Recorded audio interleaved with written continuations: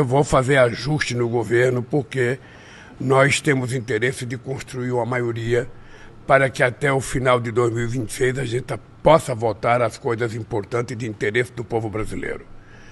Ah, ah, e, e, por isso a troca de ministro não pode ser vista como uma coisa absurda, como uma, uma, uma coisa menor. É uma coisa muito importante.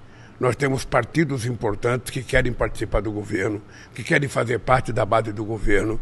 Então nós vamos conversar com esses partidos.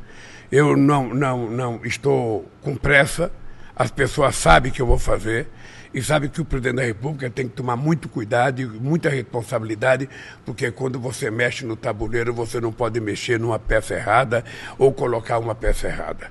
É por isso que eu trato com muito carinho isso.